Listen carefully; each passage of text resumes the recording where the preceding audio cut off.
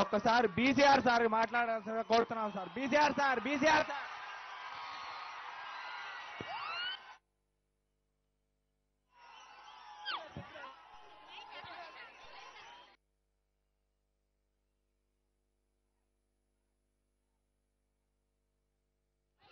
సభకు నమస్కారం సార్. ఒక గొప్ప విజన్ ఉన్న నాయకుడిగా మేము మిమ్మల్ని చూస్తున్నాము.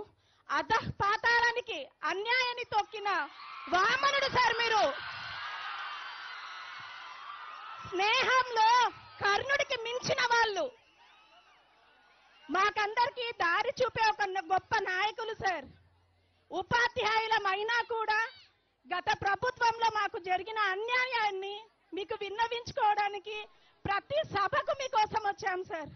ప్రతి సభకు డెబ్బై ఏడో జీవో పెట్టి సెలవు రోజులైన శనివారం ఆదివారం రోజున అర్హత లేని ఎస్సీటీలకి ప్రమోషన్లు ఇచ్చి కేవలం తెలుగు భాషనే నమ్ముకున్న మాకు తీరని అన్యాయం చేసింది సార్ గత ప్రభుత్వం.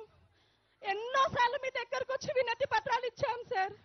ఒక గౌరవ టీచర్ వృత్తిలో ఉన్నా కూడా నేను ఆరు సంవత్సరాలకి ఆరు పాఠశాలలు మారినాను సార్. కుటుంబాన్ని వదిలిపెట్టి ఇప్పుడు జెడ్పీహెచ్ఎస్ ముక్కువారిపల్లెలో పనిచేస్తున్నాను సార్. ఎక్కడ వర్క్ అడ్జస్ట్మెంట్ అయినా కూడా నిర్దాక్షిణ్యంగా మమ్మల్ని మార్పులు చేస్తున్నారు సార్. మాకంటూ కుటుంబం ఉంది కదా సార్. డెబ్బై ఏడో జీవో చాలా అన్యాయంగా ఇచ్చింది సార్.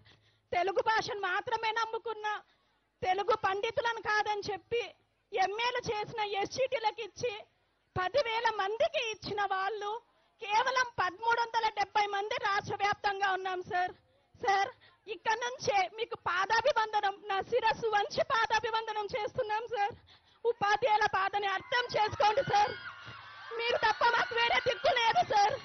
ప్రతి ఒక్కరి అభిప్రాయాన్ని చక్కగా విని కళ్యాణ్ కూడా. పరిష్కరించే దిశగా ఆలోచిస్తున్నారు. ఇప్పుడు ఎంతో ఎంతో ఆశతో మీ దగ్గరికి అన్న రాసుకోండి అన్న ప్లీజ్ అన్న. థ్యాంక్ యూ అన్న థ్యాంక్స్ అలాట్ ఇప్పుడు కోడూరు శాసనసభ్యులు శ్రీ శ్రీధర్ గారు సభను ఉద్దేశించి ప్రసంగిస్తారు. హలో. సార్ డిప్యూటీ సీఎం గారికి